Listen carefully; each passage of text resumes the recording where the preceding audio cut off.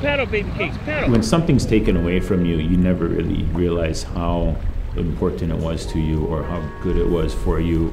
you know, I knew if I had a fighting chance, I was gonna pull it off just because I'm not gonna quit. Let's go.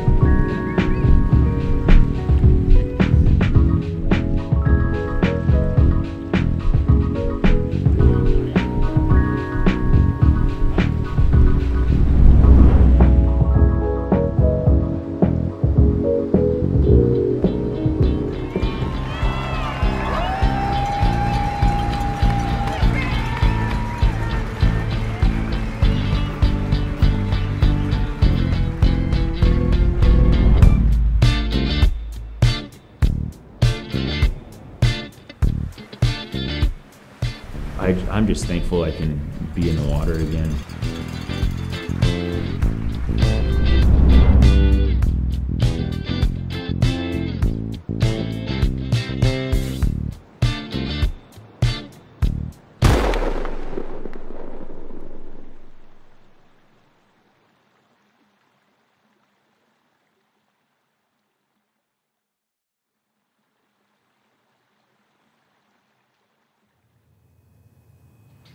Two, set.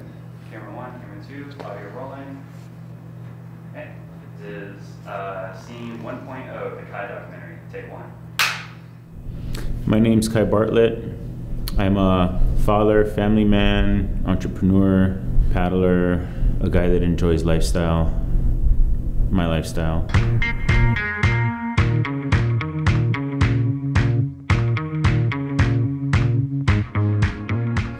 I was born in Honolulu. You know, uh, living in Hawaii, grew up surfing and bodyboarding, and always look forward to the weekends because I knew I'd be getting to the beach. But I think you always cherish that time in the water. Yeah, I was always active doing stuff. I was a small kid, not real strong, but I could go for hours. Then, uh, of course, once I hit my 20s, I started paddling. One day we're heading out to the Mokes, my friend and I, on these canoes that we fixed up. And uh, after we had a couple beers, it's like, hey, let's let's head outside the Mokes and do a run down to Flat Island. This would be my first downwind experience in, in a one man. We start surfing the ocean swells, and you know, I just start looking left and right and thinking, wow, this is killer, man. This is freedom. I, there, there's nobody around me.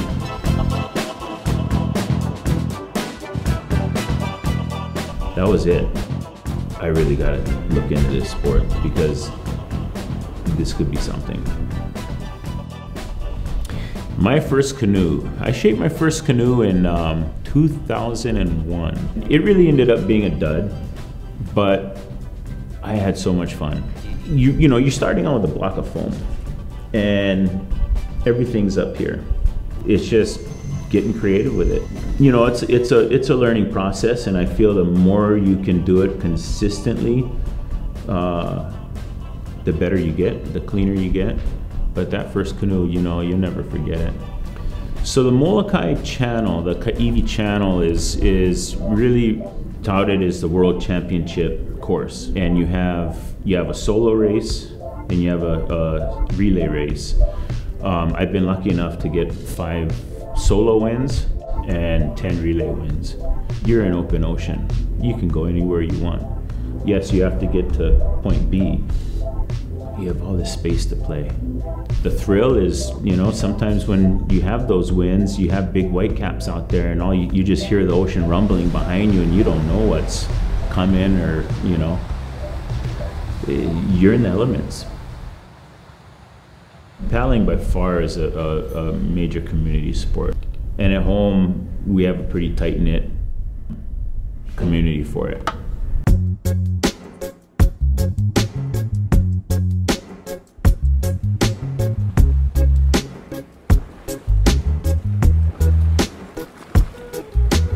Generally, we'll have at least four or five of us that'll go out and push each other. I mean, it's it's like a you know extended family. You know, you got your network of, of buddies all over the place, and and you know they're they're friends for life. You know, somebody asked me once, you know, what what was your most meaningful win? And I, I enjoyed all my solo wins because that's just me and me alone. But but for me, it's always more fun sharing that win with somebody, you know, whether it's in the relay or in your six man team. And it's just because sharing sharing that time with others, there's just more involved, you know. Yeah, I really enjoy training with others too, just because it's again, it's you're out there with your buddies training, and you're, you're trying to beat each other up the whole time, but it's more, you know, having a laugh about it afterwards, like I got you on that one, you know, or any something like that, you know.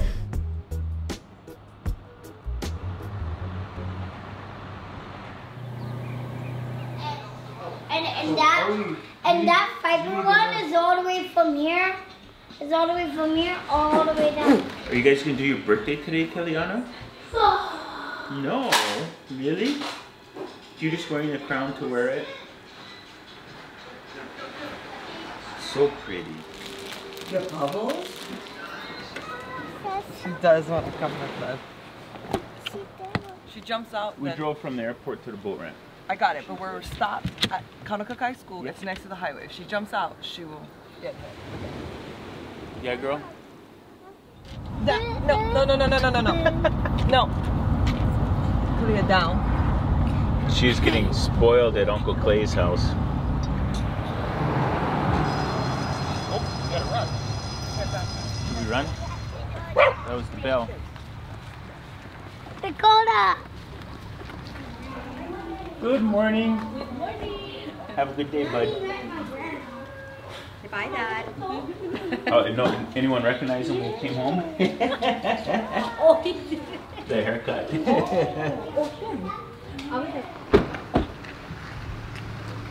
How are you? Hmm. We're going. What's the occasion? Her birthday. yeah. It was on Monday, so I had plenty of birthdays. I feel like in this class this week, so I was like, I'll take the later date. Running a business and raising a family is um, is sometimes tough. Luckily, I've got a great boss, um, and and she's the mother of our children as well.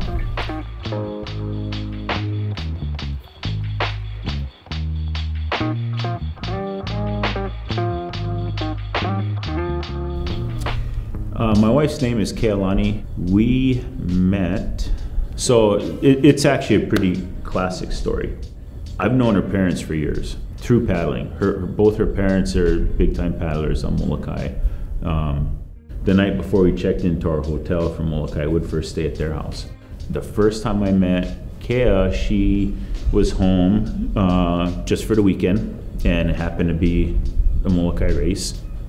And then at the after party, I ran into her again, and um, yeah, we just had good fun conversation. I was like, wow, okay, something that was nice. That something's clicking, something's clicking. It was before one Molokai Hoe. I just, she was home. She went to go stay with her dad. Her mom's on a trip, so I was like, oh, maybe I'll, I'll go to Molokai a couple days early. You know, I'll go, I'll go rig the canoe early. And so I went over there to go rig the canoe early, hang out with her, and uh, and we had a good time. Called up uh, her dad, and uh, he was good with it. She didn't want to just date if nothing was going to happen. She wanted to make sure if, if if we moved further along and got married that kids were involved, and so I had all the right answers. I guess I said yes to everything, so that was good. It was good.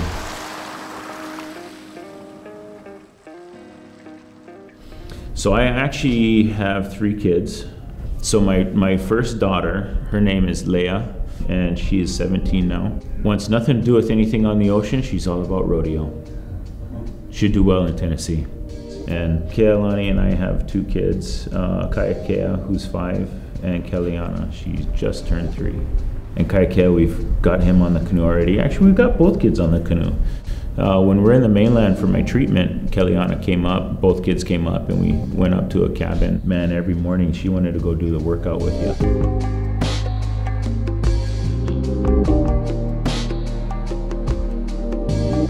It's certainly, as any parent would know, a priceless moment when you hold your child for the first time.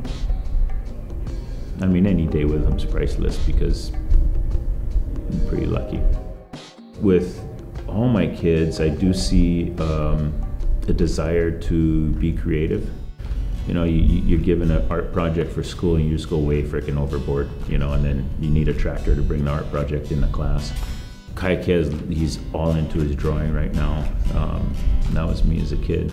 Kellyanna, she enjoys her singing. I don't know if that's because of uh, mom's side or my side. They're really more into their education and, and enjoying school, and that didn't come from me. Waking up and, and seeing the kids, and it's just seeing these little guys grow up, and they're just little parts of you, you know? They're, they're, they're a little half of you, and you know, there's so many good things about being a dad. It's it's pretty priceless. Luckily, I've got a great wife, so she does a lot of the raising too. She does most of it because you know your kids will drive you crazy at times. That's what they're there for.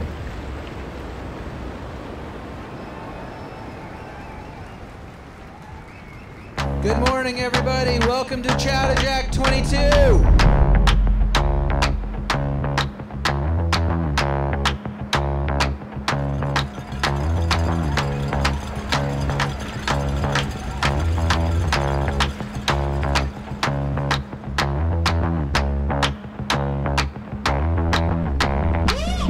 Come take a seat.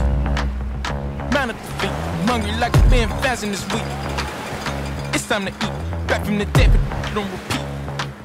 I'm the missing link. Open your eyes. What do you seek? My vision complete. You know, well before I showed up for the race, you'd hear about the race just because it's kind of a.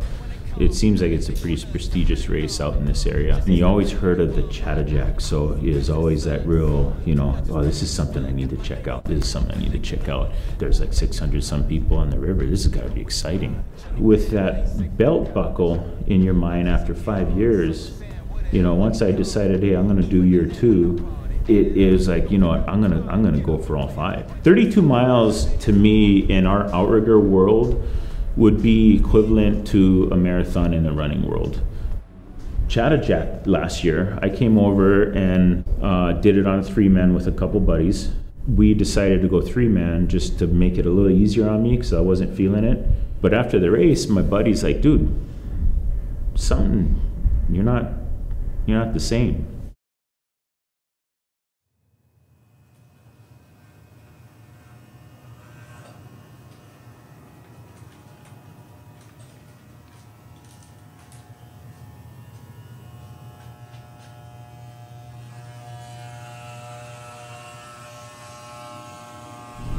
My name's Kai Bartlett.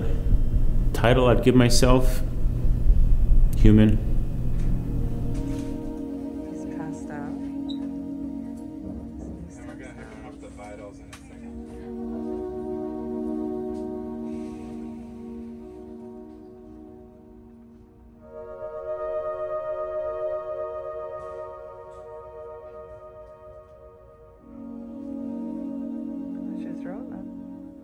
The cancer I have is multiple myeloma. Um, it's it's not a curable cancer, but it's it's a cancer that they can treat to a point to where it's somewhat non-effective, but you have to main, do maintenance and live off maintenance the rest of your life un, until unless we can outlive it to where they have a, a cure for it. Um, it's a cancer in the bone marrow. And, you know, to be honest, I tried to not learn too much about it, um, but my wife has learned a ton about it because she was pretty much my caretaker and my nurse. I just, I just figured uh, all, all I want to do is just fight it. Something you never think about in your life until it hits you.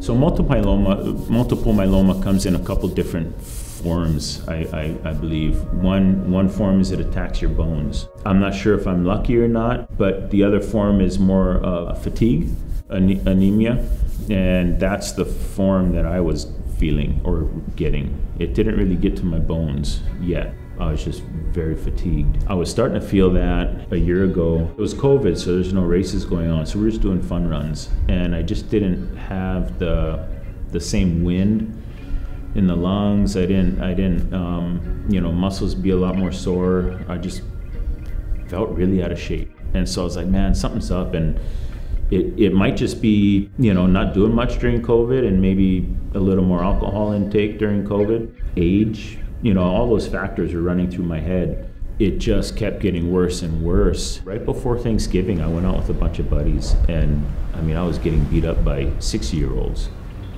And I was like, okay, uh, that's it. I'm not, no, nothing active until I get a doctor's appointment. And woke up one morning, thought to take the kids to school, and blew my nose. It's just blood. Just the whole napkin was just blood. So I was like, oh, ER today. I'm going straight in. Got in there. I'm glad I did, just because with the ER they thoroughly check you out, and they did a blood test on me. My hemoglobin was at five. Generally, it's around what 12 to 14 for men. When you know nothing about it and you just get hit with, hey, this is what you got. You know what what you see in the future is just so uncertain. So, you know, the doctors they've got all these terms, and I I'm not I don't know these medical terms. A multiple myeloma, what's that? I don't know what that is. You know, if you tell me cancer, I know what cancer is. Um, so it's actually one of the nurses, and I said, hey, I know she's coming in and telling me this, but can you give it to me in English, like low grade English? She's like, well, it's a it's a cancer, and I was like, oh shit. Uh, the feeling was, you know, it was kind of, yeah, your heart sunk. Is a feeling of loneliness, emptiness, um, scared, fear. I wasn't angry. I was worried. And it wasn't necessarily worried about myself, it was more worried about my kids. You know, they're young, they need a father. That's that's what I was worried about. You know, every every child needs that that hero in their life, and you know, you wanna you wanna be there for them. That was that was really what it was. Kadiana, what are you wearing? that worry like god can i can i be here for him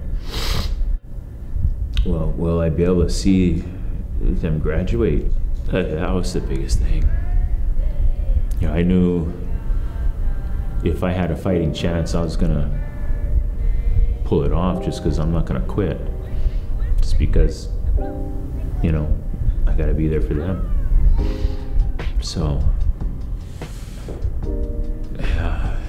that wasn't a fun day. That wasn't a fun day. It wasn't a fun. I, I gotta say, you know, it, it, was about 15 minutes of, of quietly processing it mentally. Um, but the doctor came in, and you know, she was pretty assuring about you know how far they've gone with the disease and, and what they can do and you know she thought with my age and you know being somewhat in decent shape, I could fight fight on and yeah.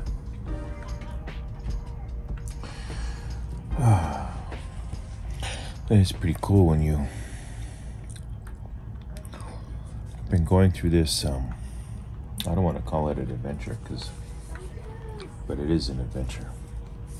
It's just an adventure you don't wish to sign up for. But when you're there, you got to do it. So it's pretty cool.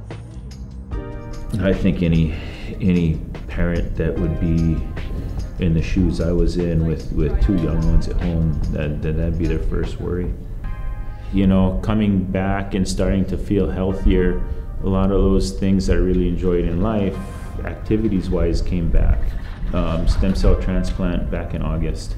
I just pray that, you know, that can keep it at bay for a while. Talking to the doctor, um, you know, he, he was saying that he deals with patients that just have a real hard time at it, but they're not in physically good shape. So right there, I was like, all right, game plan.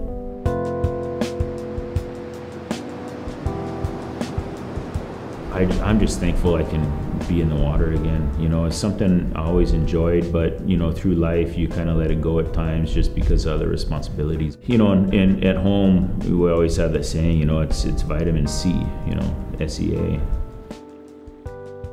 Ah, it's good therapy.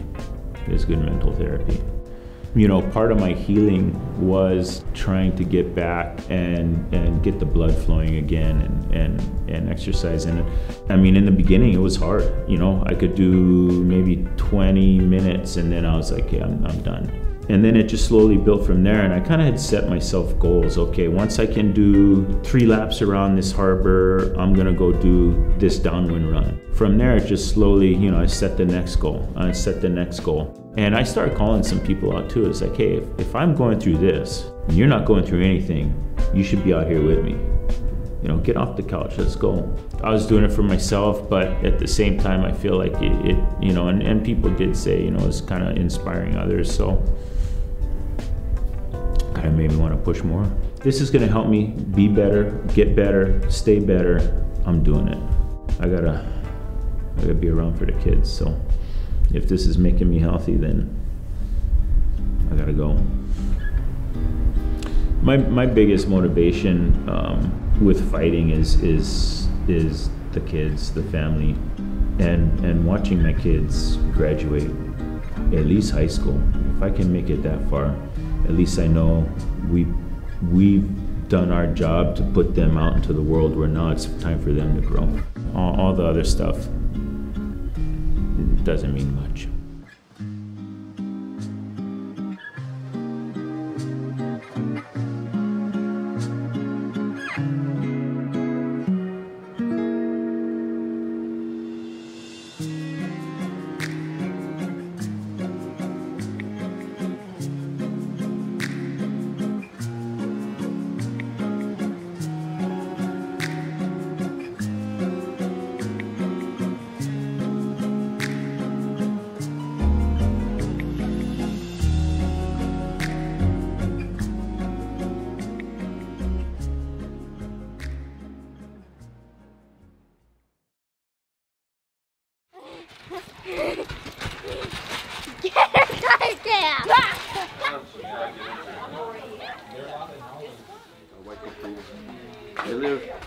Across the prison.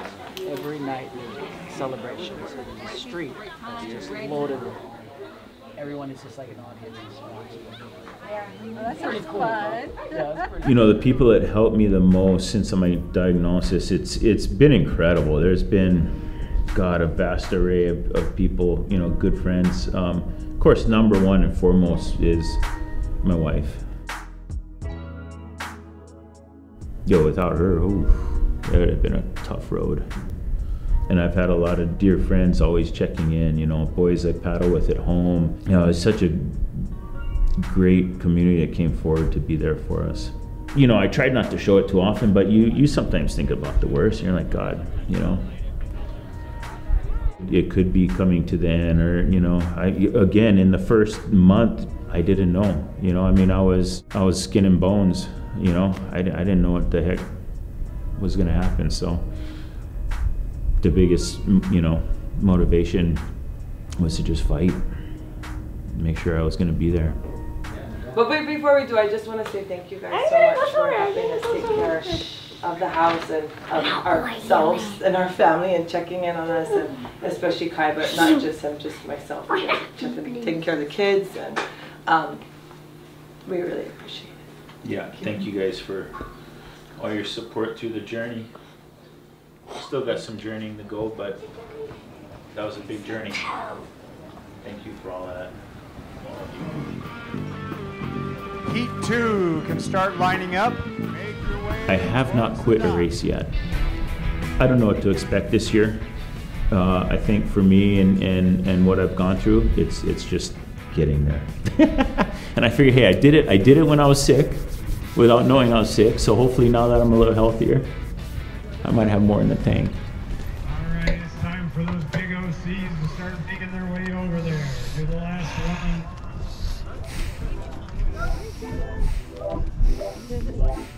When I paddle with a group and I'm in a team, I'm very competitive. I want to win because I don't want to let down my team. Once you're on the water, make your way down to the bridge. When I'm paddling out to the starting line, I'm thinking about, man, let's get the motor running. Let's start warming up the engine a little bit. You know, and then the last couple years was almost more of that nervousness, like, okay, here we go, let's go, it's gonna be a long one. And then last year was really like that, just because of how I was starting to feel. But generally, in a, in, a, in any race, yeah, once that horn goes, it's it's a whole nother element to your paddling in a sense. And this year, this year, it's definitely going to be a it'll be a nervous excitement. Exciting to, to go and get her going, and, and nervous on how is this going to go. Cheer them on, folks. You guys gonna sit down or you guys gonna stand up? Okay, you guys have to talk loud, okay? Daddy, you're my hero. Because you take me on adventures and you paddle and fish with me. Okay, your turn, Kiliana. Say what you love about your daddy. Um, he always brushes my teeth. You love that he brushes your teeth? Yeah. What else? Mm-hmm. Or get milk. Or get milk? Or treats. Or snacks. You love your daddy? How much do you love your daddy? Tell me how much. This much. That's how much you what? Yes, Daddy. Daddy, I love you so much.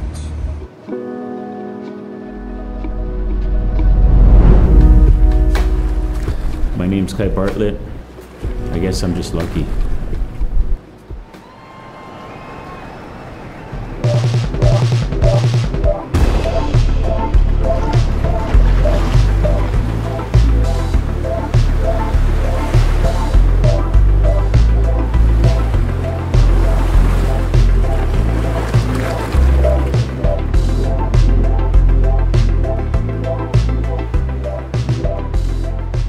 You know those hard parts of the race is always almost like that first six miles because you're just trying to find your rhythm. The the Chattajack is pretty unique uh, in regards to you know being out there with everybody. Everybody's in the same shoes as you. They're on all kinds of different crafts. I mean there's some on you know four person five person stand up board that next point of it being hard is maybe at that 18 to 22 where your back is going to get sore, uh, your butt's going to get sore towards the end. Uh, especially with the six man we're using, those seats are very uncomfortable. You get that second win, and we call it the second win. And when I was younger, I'd, I'd, I'd call it like going through one door through another because you'd just be hitting kind of the wall, and all of a sudden it was like, bam, I'm back.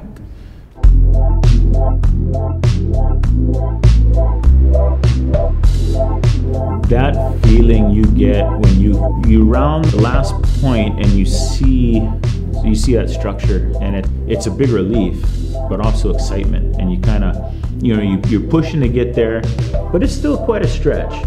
And so it's kind of wearing on you a little bit but man when you round that structure and you, you come into the finish line, dude, that adrenaline just spikes and you're like, all right, this, the, this is the last 75 yards. Let's pound it out and get her done. And it helps with having that sprint there at the end too, because it's like, okay, here it comes, here it comes, here it comes. All right, now.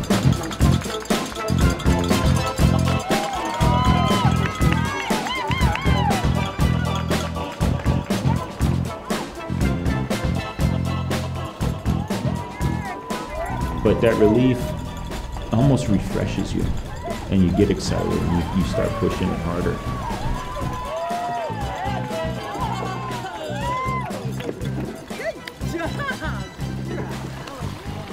And in first place, Kai Uba Strong. Congratulations.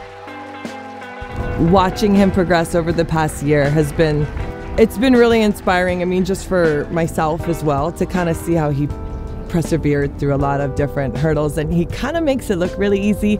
And so watching everything he's kind of gone through in the past year and to see him come out on the other side so strong is something that um, I hope that others know that, you know, your lifestyle doesn't stop and you can continue on. And I thought it was very fitting that he was in a six man being supported by others and that it was his easiest shadow jack. So, yeah. Sorry. Damn it. Okay. You know, if you if you feel like it's hard to get out there, just try to get out there and do a little something.